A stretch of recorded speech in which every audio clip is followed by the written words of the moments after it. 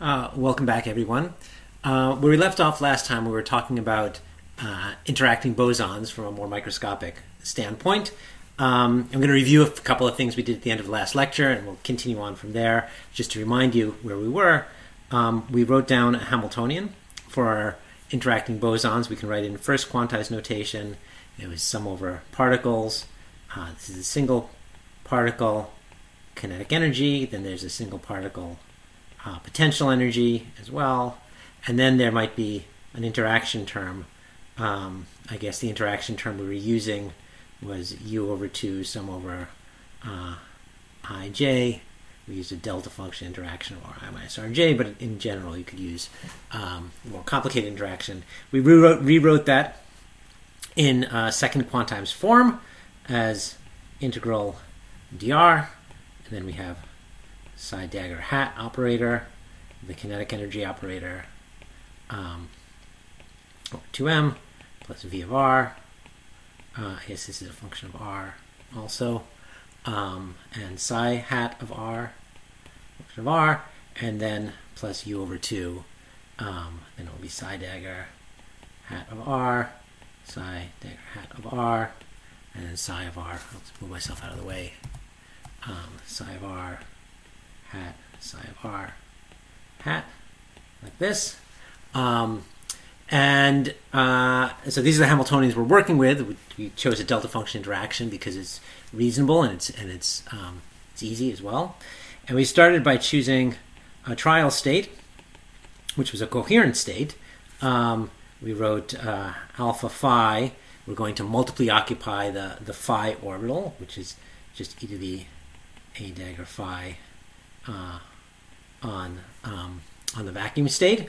And the advantage of working with uh, such a coherent state trial state is it turns the um, psi operator into a complex number, which we also called psi of r, which is alpha phi of r, or alpha is just square root of the number of number of particles in, in the system.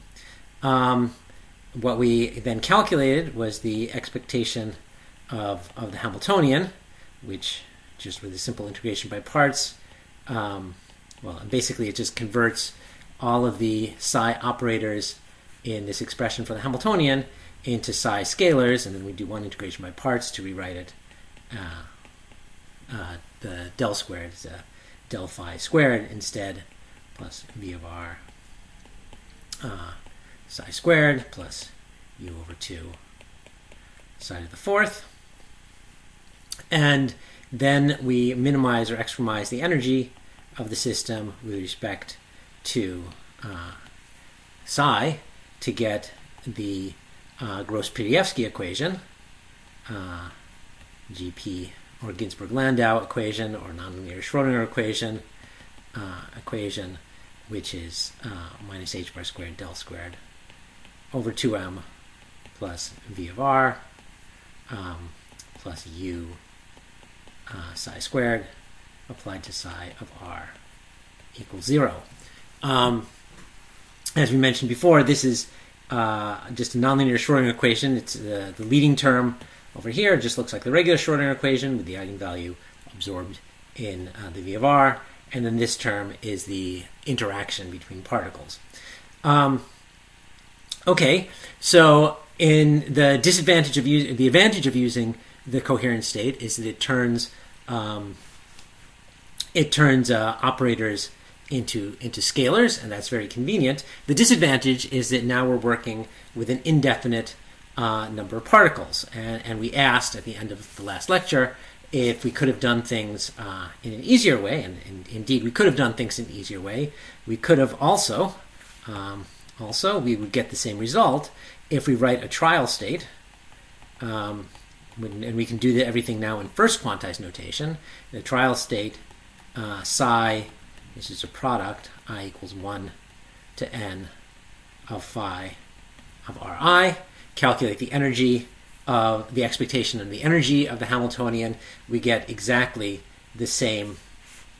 Uh, we get exactly the same uh, Hamiltonian where we define uh, again the uh, psi to be uh, square root of n times uh, phi here. So we'll get the same same expression for the expectation of the Hamiltonian, and or at least in the large n limit, we get the same expression for the um, for the Hamiltonian. We can differentiate the Hamiltonian with respect to the field again and get the nonlinear Schrodinger equation.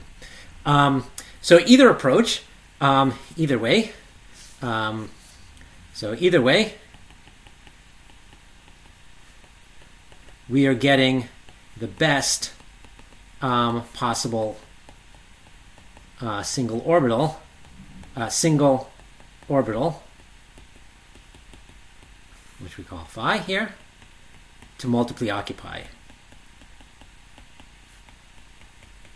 So solving the nonlinear Schrodinger equation, or the Gross-Pitaevskii equation, gives us an expression for the um, best possible single orbital wave function that we can uh, multiply occupy for this um, interacting uh, Bose gas.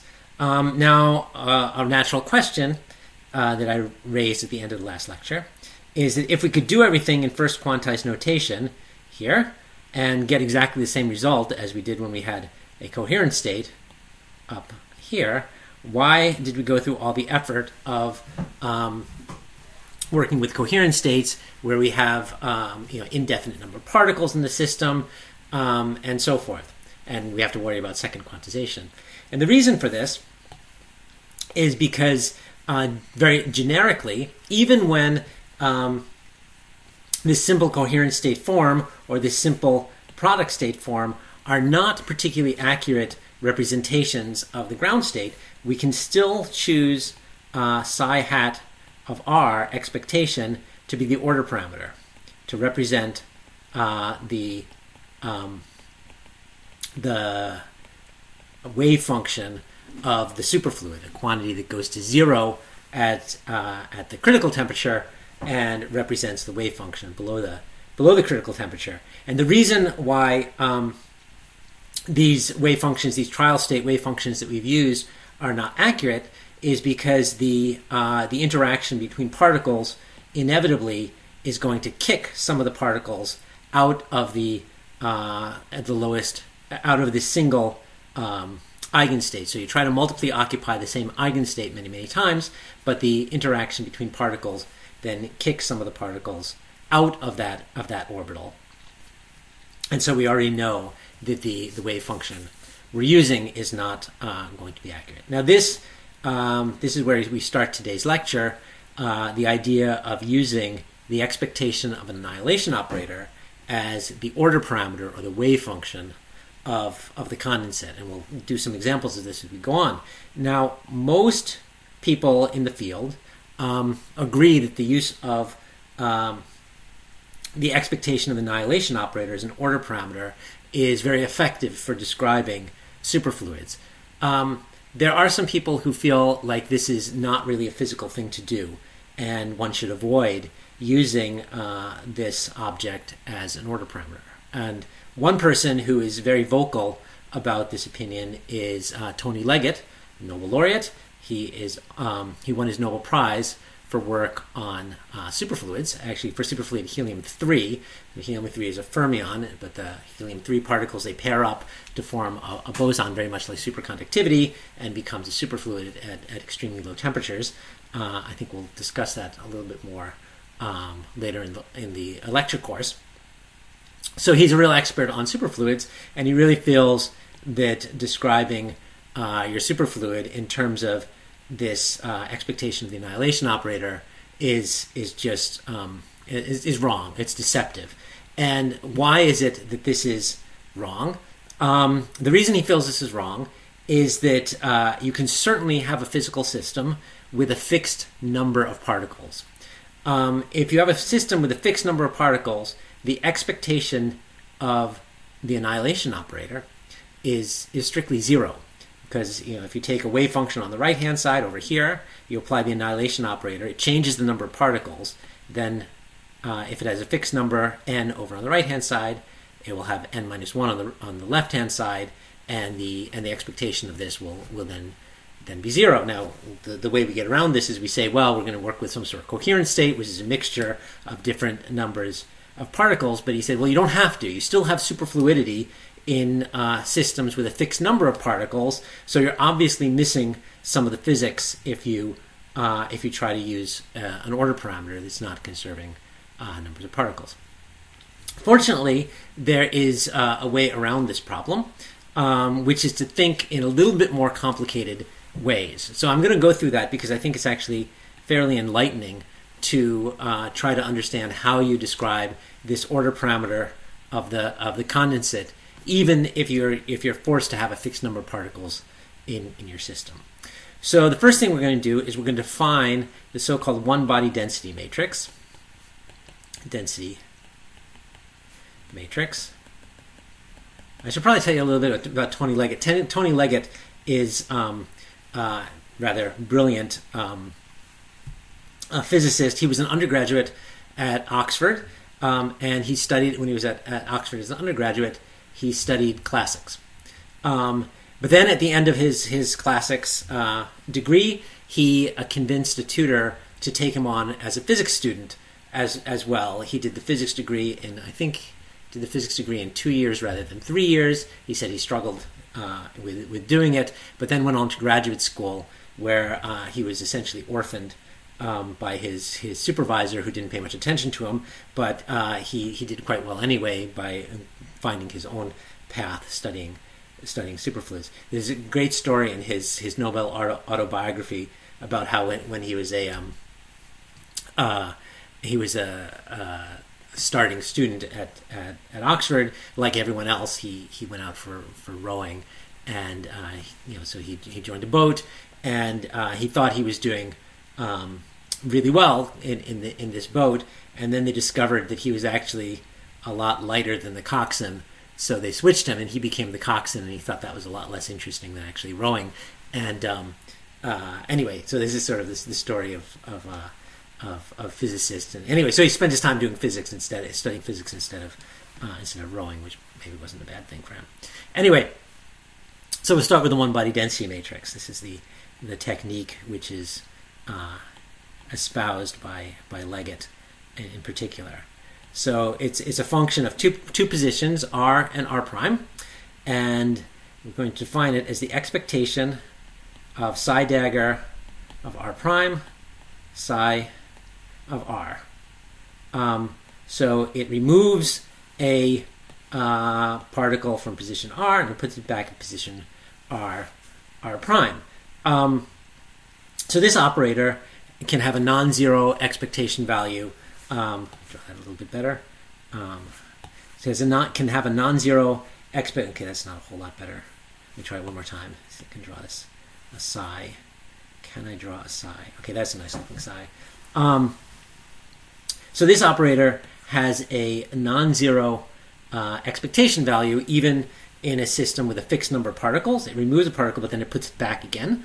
Um, but locally, it doesn't conserve number. If r and r prime are very far apart from each other, it can remove a particle from position r, and then very, very far away, it can put a particle back in to position uh, r prime.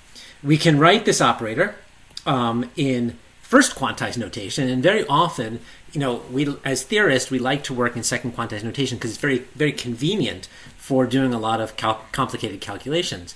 But often you can see the physics more readily in first quantized notation. And uh, I'm not sure if this is enlightening or not enlightening, but let me uh, give the uh, the um, the expression for um, the density matrix in first quantized notation. So it's an integral uh, dr2 through drn n n particles in the system of psi star, the many-body wave function, um, where r the first coordinate is put at position r prime, and then r2 through rn, and then psi many body particle wave function psi, and here the first coordinate is put at position r, and then these are all at r2 through rn. Okay, so this is what the uh, one-body density matrix is in terms of many-body wave functions. That you keep r2 through rn fixed, and you integrate over their positions, and you put uh, psi at position r and psi star at position r prime for the first particle. Okay, we can even do this at finite temperature if we like. uh, finite t, uh, we would write uh, 1 over the partition function of the system, uh, sum over all the eigenstates of the system, e to the minus beta energy of the eigenstate, and the same integral dr2 through drn. Uh, and then we'll have capital psi star of the nth eigenstate, r prime r2 through rn, and psi uh, r, and then r2 through rn. Okay? Um, so, um, good. So this is the expression for um, the one-body density matrix. And one thing to notice is that uh, rho 1, if I fix um, both coordinates at the same position r, this is just regular density. Regular density. Um, uh, see if I can draw write that a little bit nicer.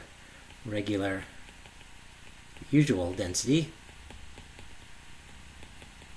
rho of r. Okay, so if I put r and r prime at the same position, this will be psi dagger psi at both at the same position, or integral over all the, um, I mean the, the psi squared here um, will be uh, psi squared, which is the, the phase space density, and then you integrate over r2 through rn, and you just look measuring the density of the uh, of the first coordinate. Okay, um, good.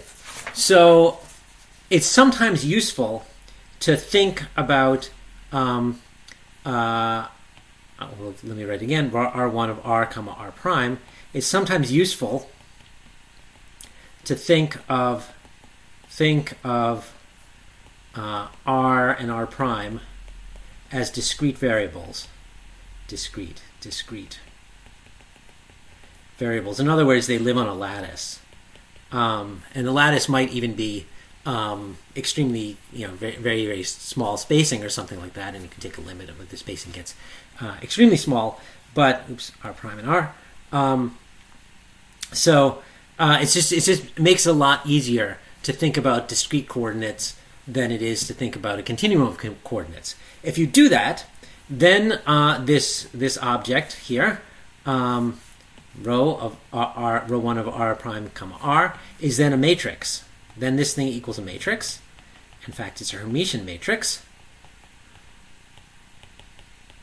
Um, it's a matrix. It's a function of two indices. This is the first discrete index. This is the second discrete index. And um, rho 1 of, um, of uh, r comma r is diagonal equals the diagonal of the matrix. And when r is um, not equal to r prime, that's off diagonal. So uh, rho 1 of r comma r prime uh, r I'm, I'm, I'm terrible here because I, I draw r's in two ways. I sometimes do this as r, and, and sometimes I do this as r. I really apologize about that. It's it's I'm not sure why this has habit, but but that's how I do it. Um, anyway, so this is r and r prime. Um, so for this, when um, r is not equal to r prime, uh, this is off diagonal. Okay, so if we have a uh, Hermitian matrix. Um, uh, in any number of dimensions, it's diagonalizable. So we have a diagonalizable Hermitian matrix, and let's write out its um, its its eigenvalues. So let's call its eigenvalues. Uh, um, let's call it n sub alpha, and let's order it that n0 is the largest eigenvalues, greater than n1, greater than n2, and so forth. And the eigenvectors, vex uh, we'll call them phi alpha, and they'll be normalized the way eigenvectors are usually org- uh, normalized. That well, um, in a uh, in, in, when they're discrete coordinates, it would be uh, sum over i phi alpha. Um, okay, so this is maybe sum over r, sum over positions r. I should write it this way: sum over positions r phi alpha of r squared equals 1. But if we go to a continuum, and we eventually want to go to a continuum, it would just be the integral um, equals 1. Okay? Um, so we can then write um, in terms you can write your Hermitian matrix in terms of its eigenvalues and eigenvectors in the in the usual way. So we'll write what uh, rho one of r uh, comma r prime is then going to be the sum over alpha n alpha phi alpha star of r phi alpha of r. So this is just the usual uh, eigenvalue eigenvector decomposition of a uh, sorry this one's r prime of a uh, of a Hermitian matrix. Okay, um, now in terms of this uh, one body density matrix, the def- definition of superfluidity is that um, n0, the largest eigenvalue, is order order uh, n, the total number of particles in the entire system, and then phi naught is the wave function of the condensate. Of condensate. With the usual translation that we write the order parameter psi as square root of n naught times phi naught. Okay, um, so this is the the new definition of the of the order parameter. All, these are all a function of position. This okay. Now I'm, I'm doing that thing with different writing the r's in different ways. Okay, that. Um, so this is the this is the the definition of the order parameter. We, we can and we can use this um, even for non-interacting um, sorry, even for interacting bosons, no matter how complicated the wave function is, we can always define the one body density matrix. We can the one body density matrix is always uh, a Hermitian matrix. We can always diagonalize the Hermitian matrix, and we can write its um, the largest eigenvalue. If the largest eigenvalue is order the number of particles in the system, the corresponding eigenvector is then the wave function uh, of the condensate up to this, this normalization. So we can do an example of this, a really simple example of this. Uh, example is if we go back to the non-interacting BEC, now you know, we're throwing out the interesting stuff, we're getting rid of interactions again. Let's do a non-int BEC at t equals 0.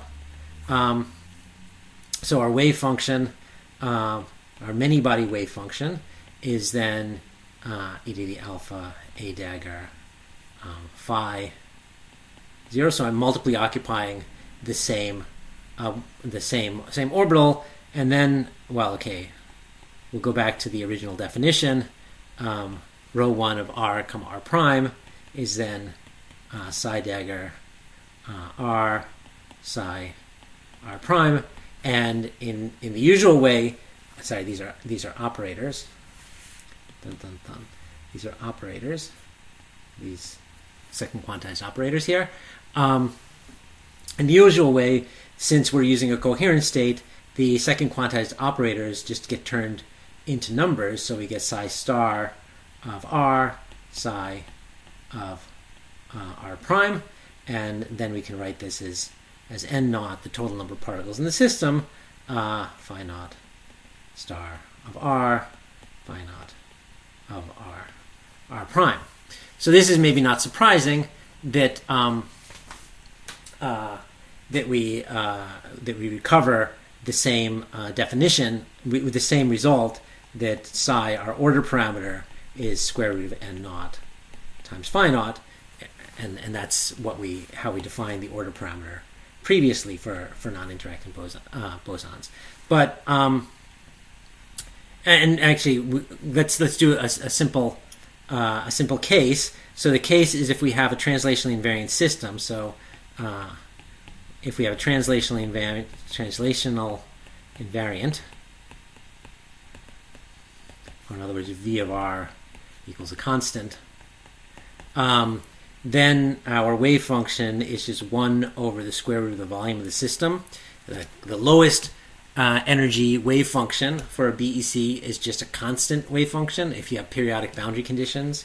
So maybe translational invariant periodic BCs.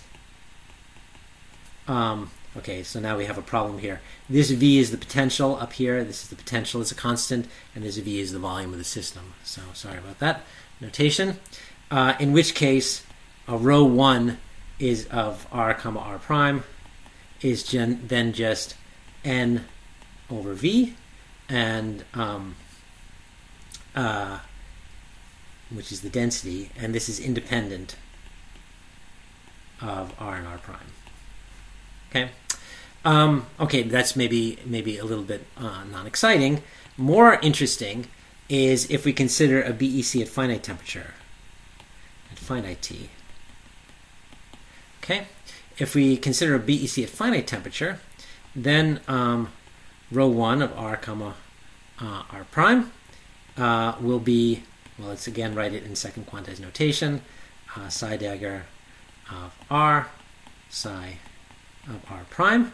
And it's convenient now to, to write um, psi of r as an operator in terms of the plane wave states. So 1 over v, sum over k, ak, vi k dot r, so that rho 1 is, uh, rho 1 of r comma r prime is then uh, 1 over the volume of the system. This is volume also. Um, then it will be sum over k and k prime, expectation of ak uh, dagger a k prime, and then e to the minus i k dot r plus i k prime dot r prime. Okay. Now a couple things to notice that um, that this expectation by translational invariance it has to be proportional to delta k k prime. If you remove um, something with momentum k prime, you better put it back with the same uh, momentum um, in order to get something non-zero. So uh, the expectation in a translational invariant system, uh, the expectations can only be non-zero if when you remove some momentum, you put the momentum the momentum back. So that means I can rewrite this as 1 over volume, just sum over k, uh, a dagger k, a k, e to the, I guess, minus i k dot r minus r prime. Um, and um, this expectation now, a dagger k, a dagger a at momentum k, is just for a non-interacting Bose gas at finite temperature. This is just the Bose factor, uh, n Bose of energy of k minus the chemical potential. Okay. Um, now, so maybe let's write that out. One over volume, sum over k, n Bose of epsilon k minus chemical potential. I guess there's some data sitting in there. Um, times e to the minus i k dot r minus r prime. Um, good. Now, um, for uh, case one, is if T is greater than the than the critical temperature, then um, if T is greater than the chemical potential, then the Bose factor is is completely smooth. Um, so NB is smooth uh, near K equals zero. Nothing special about the K equals zero state um, if um, if you're above the critical temperature. And so we have uh, rho 1 of r comma r prime is the Fourier transform. Transform. I, I guess what this tells us here is it's, it's, it's only a function of r minus r prime, actually.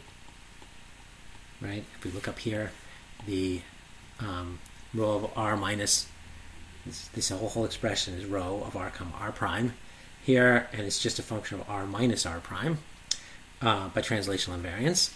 Um, so this is going to be tra- Fourier transform of some smooth function.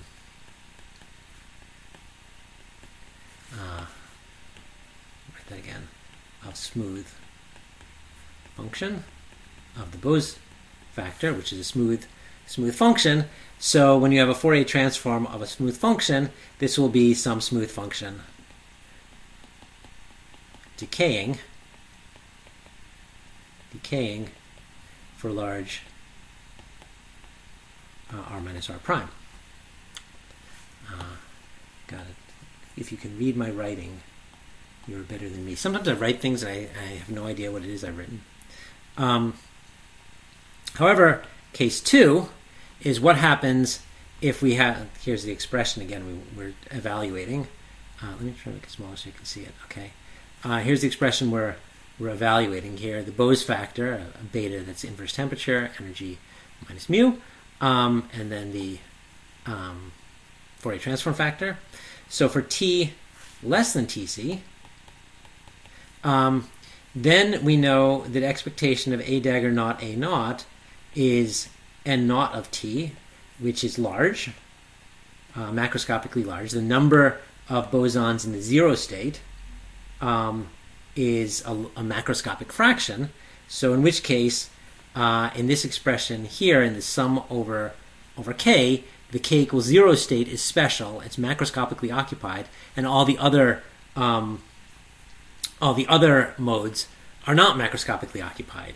So what we have then is rho 1 of r minus r prime is uh, n naught over v, the n naught being the number of particles in the in the the lowest energy state, um, plus some smooth decaying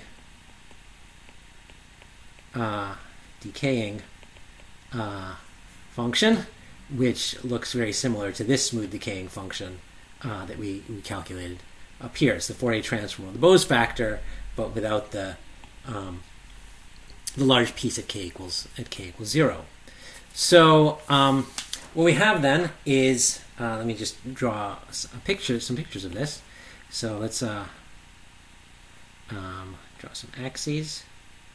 Okay, so this axis is absolute r minus r prime. Like that. And this axis is rho uh, 1 of r minus r prime. It's just a function of the distance between them by translation invariance. And um, and this is, is 0, distance 0.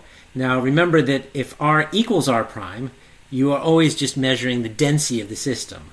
So it always starts out at just um, rho 1 equals rho, the constant density of the system. At, at any temperature, this is always true. By definition, the the one body density matrix, when you take the two corners equal to each other, you just get the density. So as long as it's a fluid, you'll just get a uniform constant density, rho bar, the constant density uh, at r minus r prime equal equals zero.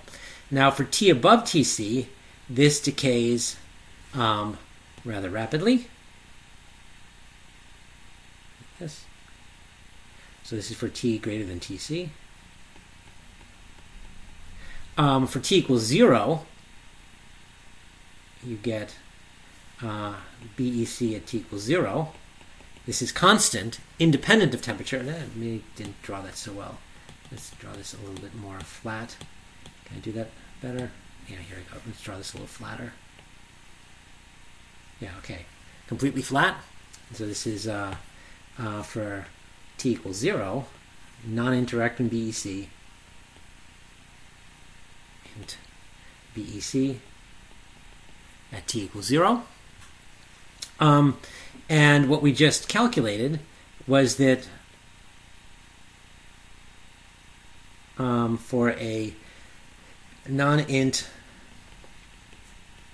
BEC at T between 0 and the critical temperature, we uh, saturate to, um, uh, okay, so if rho 1 is N over V, we saturate to N naught over V, which is a function of temperature. Um, and, uh, some, you get a smooth decaying part here, and then you saturate to the constant N naught uh, of T divided by volume. Draw that again. God, I'm terrible at drawing, aren't I? Okay, better. Um, good. So um, we haven't showed this, but um, uh, it turns out that when you consider an interacting BEC, BEC, for any T less than um, less than its critical temperature, um, it looks like this middle curve. Uh, looks like uh, the middle curve, um, middle, that it saturates to some finite uh, value, it saturates to some finite value, which um, which is the or, you know the order parameter. Um, it has finite superfluid density at um, or superfluid order, even for r very far from from r r prime, and this can be true for an interacting BEC um, at, even at t equals zero, even at t equals zero. You it will still look like this middle curve because, as we mentioned before, that um, some of the bosons are kicked out of the actual ground state wave function due to the interactions. So it's both temperature and interactions will kick some of the particles out of the um, of the lowest of, of, a, of a single single orbital, but nonetheless there will remain some superfluid order even at very uh, long distance. So actually, let me try to draw this better. This sort of looks like it's. Um, let's see if I can draw it flat. Better. Okay, like that. So it goes up, eventually becomes flat. Um, okay, so this type of order, uh, this order is called, you might call it superfluid order, but it's actually called, um, is called off diagonal long range order.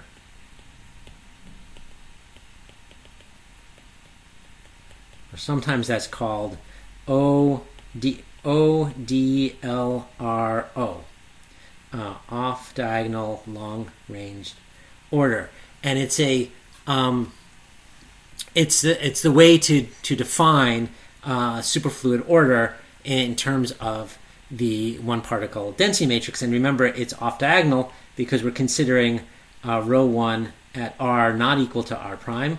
Diagonal order would be some sort of order in the uh, diagonal part of this matrix, in other words, uh, in the regular density where r equals um, or r equals r prime. Um, okay, now in in uh, genuine superfluids like like helium four, the um, helium four is, is highly interacting. And helium 4, even if you went down to zero temperature, um, the amount of, uh, you know, the amplitude of the superfluid fraction is actually a very, very small fraction of the total density. So it's, it's only about one tenth as high as the total density is, so that the um, the off diagonal uh, long range order is, is, is less than uh, one tenth of the of the total density, whereas in non-interacting BEC, the off-diagonal order is exactly equal to the to the total density. Okay. Now, um, the next thing we're going to do, if we have time, and I think maybe we should uh, try to have time to do this. Um, yeah, let's try to have time to do this because I'm going to go through this fairly quickly uh, anyway. Is I'm going to try to discuss uh, a microscopic picture of how particles get kicked out of the ground state um, in detail. So, how is it that that interactions kick some particles out of the ground state into so you, you, can hear if you listen carefully in the background you can hear my daughter screaming because she knows what's going to happen here. We're going to start doing Bogoliubov transforms and that makes her very upset. Um, okay hopefully she will stop screaming in, in a moment or so. No she's still screaming um, maybe i should pause the the video at this point Okay, I'm going to pause the video at this point.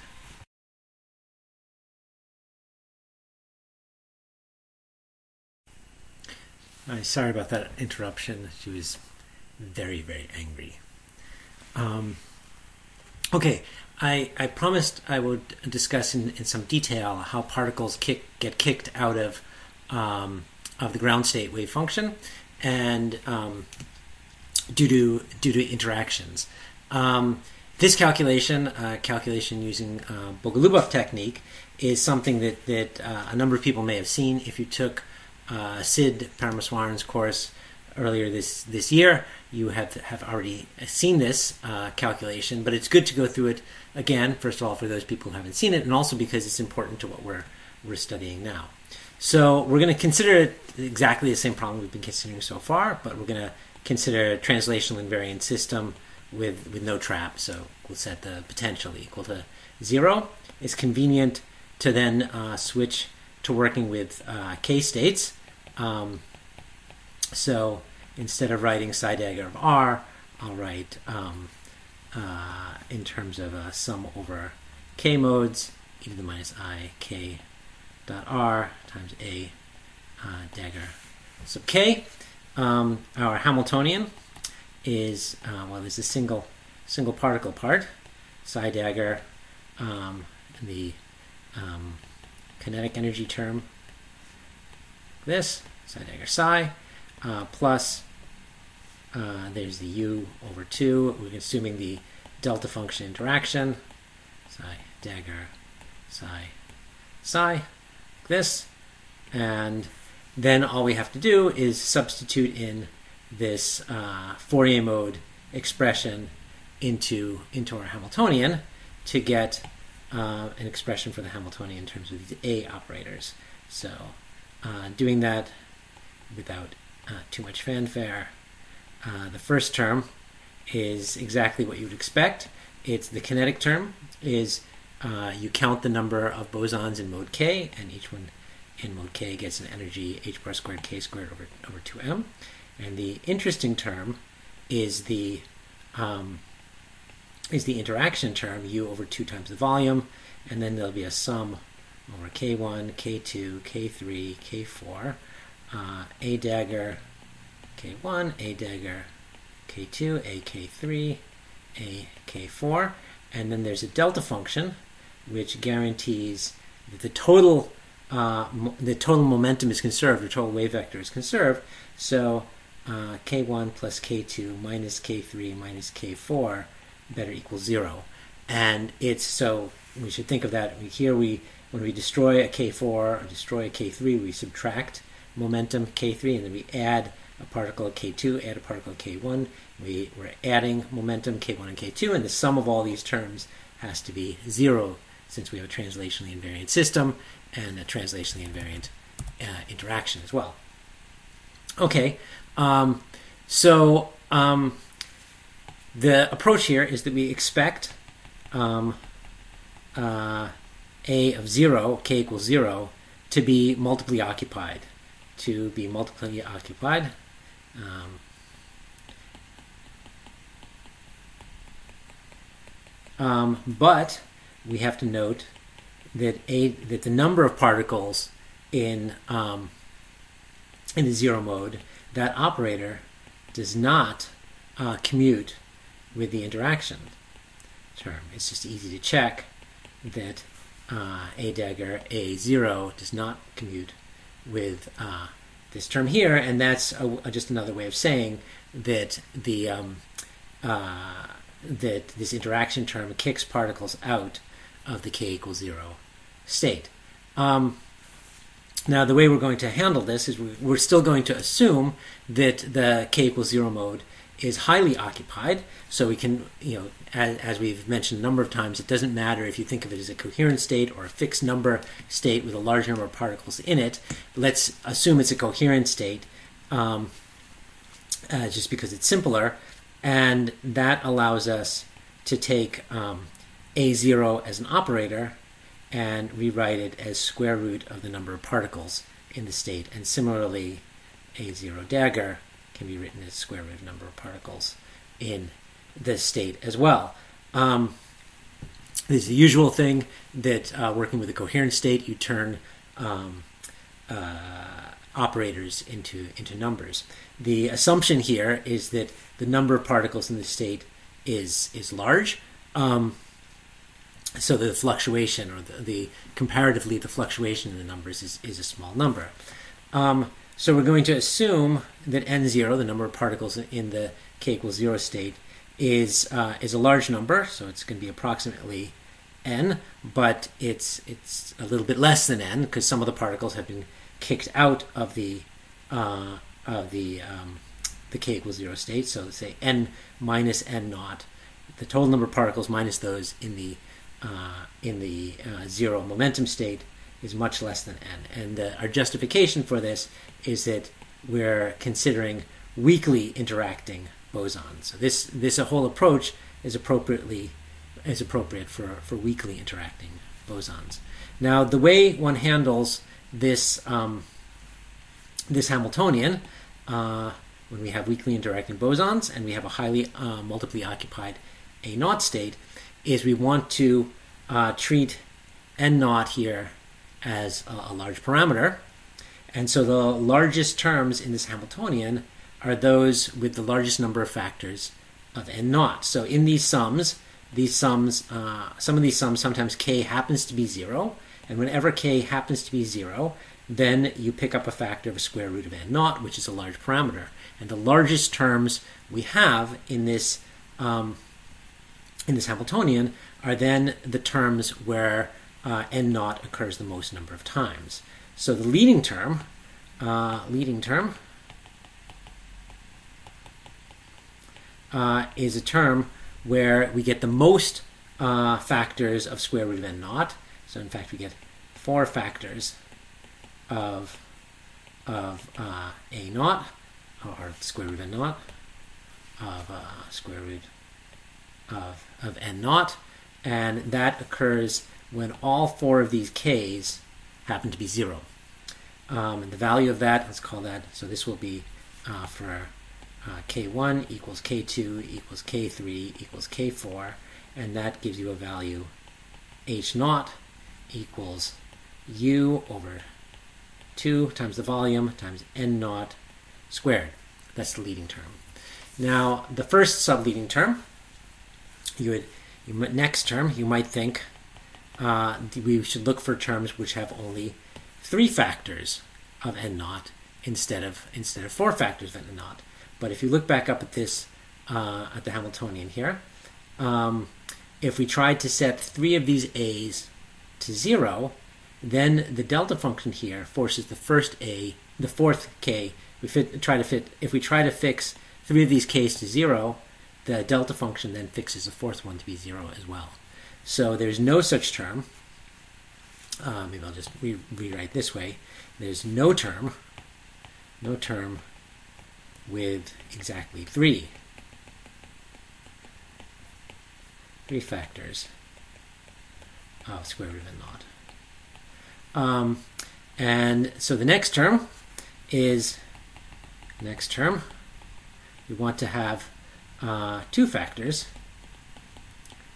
of square root of n naught, and that can happen again going back to our Hamiltonian uh, in several ways. Well, one you might expect that well these two could both be uh, at k equals zero, but if that were if if you set k equals zero in this first term in the kinetic term here, then this k is zero and it has a value of zero. So that one gets gets thrown out. You don't have to worry about that. But you do have to worry about this term. If two out of these four a k's happen to be at um, k equals zero, so either k1 and k2 are 0, K1 and K3, K1 and K4, K2 and K3, K2 and K4, and so forth. Okay, so it, all possibilities, there's six possibilities of assigning um, which two of these four A's um, come out to be 0. So let's write down uh, all those terms. So write down all those terms. We, uh, u, we get two factors of square root of n naught, so it brings down n naught.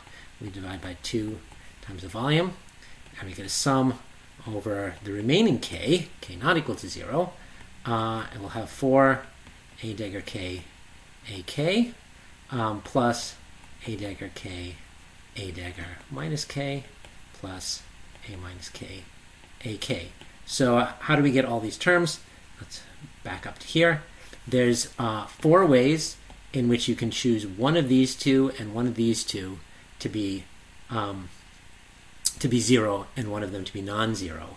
So we choose one a to be non-zero, and one of these a we choose one of these two to be non-zero and one of these two a's to be non-zero. There's two ways to choose this, two ways to choose this, and that gives us four possible terms. Where the remaining terms leave you, you, you leave one a uh, not at zero and, and, one other a not at zero, and the and the uh, momentum conservation guarantees that these two k's are at the same value. Sorry about doing all the scrolling here. Um, then there's also the possibility that you choose um, these two k's to be 0 and leave these two k's non-zero, or these two k's 0 and leave these two k's non-zero. In which case, for energy uh, for momentum conservation, these k's have to be uh, minus each other, and the or these two k's have to be minus each other. So the statement, so the, with the different ways that you can uh, conserve momentum is either you uh, take a particle, uh, you destroy a particle at k and you put it back in k, or you destroy a particle at k and destroy a particle at minus k, or you create a particle at, at k and you create a particle at minus k. All of these things uh, conserve momentum, and this is the uh, uh, the total of the six uh, terms. Okay, so the the two terms that we have in our Hamiltonian now are this is the leading term, this is the subleading term. We also want to use to our advantage that we have that n0, the number of particles in the zero state, is the same as, well, that's uh, a dagger 0, a0, and we can write that as the total number of particles, which is fixed number, minus sum over k not equal to 0 of a dagger k ak. So we're going to we're going to need that uh, plugged in here as well. Plugged in here is going to be less important because it will be higher order. Um, anyway, if we if we if we do that, if we uh, replace the n zeros, particularly up here, replace the n zero with n minus a dagger k a k, and we add it to this, the total Hamiltonian at the end of the day is then rewritten as h equals u uh, rho over 2 times n plus, that's just a constant, plus k not equal to 0, and we have h bar squared k squared over 2m, just the kinetic term, which we haven't done anything with, plus u times rho times a dagger k ak plus u rho over 2 a dagger k a dagger minus k plus a minus k a k. Okay, um, where rho is uh, the total number divided by v. So this is the Hamiltonian that we now want to want to solve. Um, and um, just so you, you, you have the idea of what's going on here, so this this term is just the kinetic term, and it's uh, changed by an interaction. Um, so each um, each particle, whether it's uh, at any k, has some additional energy due to the interaction. But then these two terms, the so-called anomalous terms, the ter- terms that have either two creations or two annihilations, what they're actually doing is they're taking or or or, or they're taking two particles out of the condensate to uh, here, you take two particles out of the condensate, you put one at k and one at minus k to conserve momentum, or this uh, term uh, destroys two particles and puts them into the condensate. So it looks like it's not conserving uh, particle number, and the reason it looks like it's not conserving particle number is because when we dump particles into the condensate, we sort of lose track of them. Okay, the the particle number, you know, we have the part the condensate is in a coherent state anyway. It has an indefinite particle number, so we can just dump particles you know, into into the condensate you know, two at a time so that we uh, conserve momentum, or take particles out of the condensate two at a time so as to uh, conserve momentum. Now, this Hamiltonian is um, quadratic in these uh, A operators, which means it's solvable. It's solvable by so-called Bogoliubov transformation, uh, Bogoliubov uh, transform, after Nikolai uh, Bogoliubov, who was uh, somewhat more famous as a mathematician than as a physicist, but also a, a very good physicist. If you're if you're familiar with stat mech, you uh, might remember the BBGKY hierarchy. He's one of the one of the B's in in uh, BBGKY. Uh, I think he might be the first B. am not sure whether, whether there's a convention as to which one is named first. Um, but one of one of the bees is Born, I think, and the other one is Bogoliubov, and I forget which order they're written in. Anyway, the the uh, trick of the transform is to define some new operators, uh, bk and b dagger minus k, um, in terms of these old a operators via um, uh, a matrix, since theta k, uh, sinh uh, theta k, cosh theta k times ak a dagger minus k. Now notice that uh, on the right hand side, both of these terms uh, destroy uh, k units of, of momentum. Here you destroy uh, k explicitly, and here you create um, minus k. So both of these terms have the same same momentum, and both of these terms would have the same momentum as well. But the b's are a linear combination of the term that uh, creates um, a particle with minus k and the term that destroys a particle with with plus k. Now it's easy to check um, that uh, BP the, the, the, these b's satisfy uh, canonical commutations. B dagger p, um, B dagger q equals zero, and BP B dagger q equals delta PQ. Okay. Now Sid, when he teaches this, he he has a um, his favorite comment that he likes to to mention uh, very frequently is that it kind of looks like this transformation is is not unitary. This matrix here is is is not a unitary matrix. Um, so how, how do we get away with that? We're very used to making uh, basis transformations in, in quantum mechanics, and we like our basis transformations to be to be unitary, but this is not a not a unitary matrix. So so why is it it's okay? Well, the reason why it's okay is because um, we're making a transform on operators, not on the basis. Um, the basis is the transformation we're actually making on the basis in Fock space is actually uh, still unitary. The only thing that's required to have it be a um, unitary transformation is that our new oh, oh dear, undo that. I was trying to just erase this.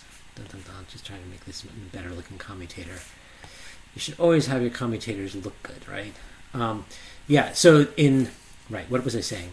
The um, uh, the only thing that's required in order to have a unitary transformation of our um, basis in Fock space is that these operators still satisfy canonical commutation relations. And as long as that's true, then we have a perfectly good unitary transformation in, in Fock space, even though the operators transform into each other in a way that looks like it's non unitary.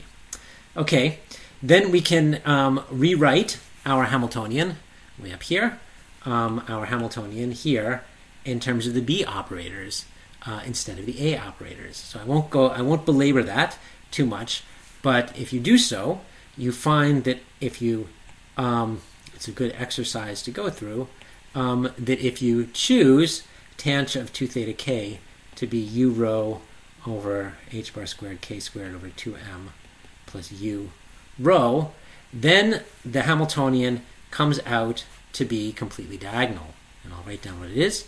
The Hamiltonian then uh, simplifies to a constant, which we're not interested in, plus uh, sum of k not equal to 0 of energy sub k, b dagger k, bk. We've completely diagonalized the, um, the Hamiltonian. These b operators are sometimes known as Bogoliubons, and they are the elementary excitations of the system.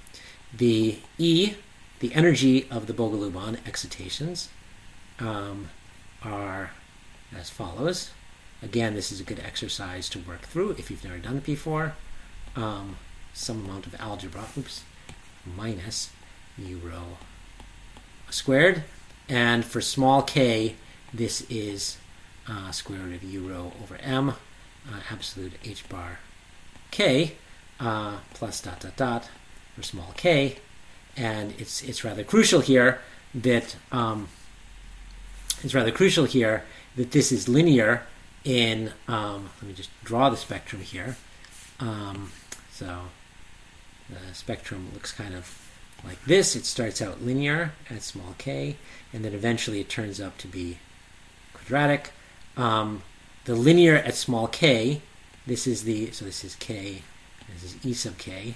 Uh, linear at small k, this is the sound mode velocity, sound velocity velocity. In fact, you can uh, uh, calculate the velocity is just uh, square root of u rho over m. It's this coefficient this coefficient here. Um, and uh, that's important that it's a sound velocity that doesn't start quadratically, it starts linearly in order that it satisfies the Landau criterion for superfluidity. So a weakly interacting Bose gas uh, will superflow because it has a sound mode velocity at small k. That uh, the, the spectrum is linear in energy um, with respect to uh, momentum, and that then guarantees that it is um, a uh, um, this actually is superfluid. Now, um, what's looking back at our Hamiltonian here again in in this language, um, the ground state of this Hamiltonian is clearly so the ground state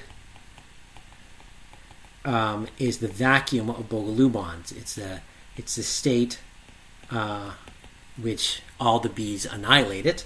Um, if you then take the ground state and add so that B dagger K on the ground state will then have energy K on the ground state and so forth. Um, or maybe I should say energy K. Okay, if if the sorry, this is I mucked that up. Ignore that. Ignore that. Ignore that. Ignore that. The Hamiltonian, uh, if the Hamiltonian on the ground state gives you E0 on the ground state, then the Hamiltonian on uh, B dagger K on the ground state then gives you E naught plus, um, plus EK uh, on the ground state. Okay, so E naught is the ground state energy, and E sub K is the energy of the of the Bogoliubons, and you can just you can check that by um, by the commutation of the of the B operators. Um, now, the fact that the the ground state is the vacuum of the A operators. Remember that the uh, the B operators are actually some linear combination of the A, A operators. So we can even show you what the linear combination is. Here it is. The B operators is some linear combination uh, of the A operators, and conversely, we can just invert this matrix. The A operators are some linear combination of the B operators. Again, I'm scrolling here, and I probably shouldn't be because it makes it hard for you to follow. But um, sorry about that. Um, but if we have this uh, expression here, um, we know that the A operator, say um, uh, uh, AK, uh, uh, is going to be some linear combination of, of BK plus V uh, dagger minus K. Um, and uh, unfortunately, AK, or fortunately or unfortunately, on the ground state is then not equal to zero because some portion of the A operator has a B dagger, creates a Bogoliubon.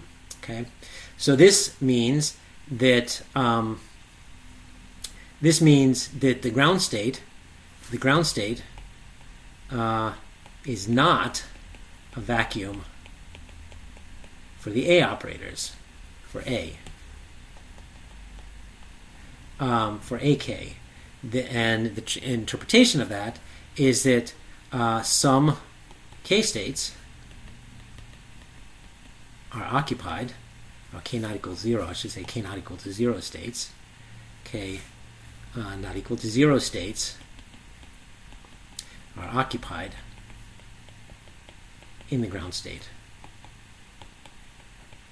Um, which is exactly what I was uh, saying before that due to these interactions, um, some of the bosons get kicked out of the uh, of the k equals zero state.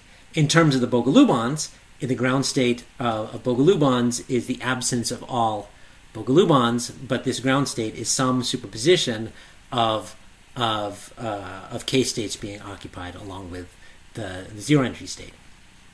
And one last thing to check is the um, the occupancy of the uh, this this worth worth doing worth checking. The occupants okay exercise. Um, it's a good exercise. To try is to see how many um, bosons uh, are not in k equals zero in the ground state. And it's easy to, uh, well, with a little bit more calculation, um, you will discover that I think I do it in the notes, and I think Sid does it also, that um, uh, it's proportional to u to the 3 halves power for small uh, for small uh, u. Uh, so the um, small u. So uh, as you increase the interaction u, you get more um, more particles kicked out of the ground state. Remember that um, n minus n naught, n minus n naught is the sum k not equal to zero of a dagger k, ak counts the particles that are not in the k equals zero state. I should also point out that um, that this this object here um, was uh, at least for the case where the interaction is is a delta function. This object here was um, was part of what we called our um, off diagonal long range order. So the n zero uh, over v is uh, is the off diagonal ODLRO, and if you remember, we drew, drew this diagram before as a function of distance between r and r prime, um, the density over v, um, and this axis is rho 1 of r minus r prime, the um, single particle uh, density matrix on this axis. It always starts at, at, at, 0, it starts at n over v, and then it drops down uh, over some distance scale to uh, n naught over v, which is the off diagonal long range order. In this case, it's just the number of bosons that remain in the k equals zero state. Um, although it's not generally uh, a, uh, a, valid definition of, of ODLRO. The general definition is, um, well, the ODLRO we, we, defined before is uh, expectation of, of um, the eigenvalue of the expectation of, of psi dagger times psi. Okay, so that is a very, very quick uh, summary of the Bogoliubov method for treating a uh, weakly interacting Bose gas. Uh, next week, or next week, uh, next lecture, whenever I do it, tomorrow, next day, this afternoon, I don't know, um, whenever my daughter uh, deems it appropriate to take her next nap. Um, the next lecture will be on Feynman's uh, method of studying um, superfluid helium, and then I will also um, do an example uh, of, of um, uh, exam problem because uh, we've been told as lecturers that we don't do enough example problems like exams, so I'm going to work through one of the problems from last year's exam. Okay, uh, see you then.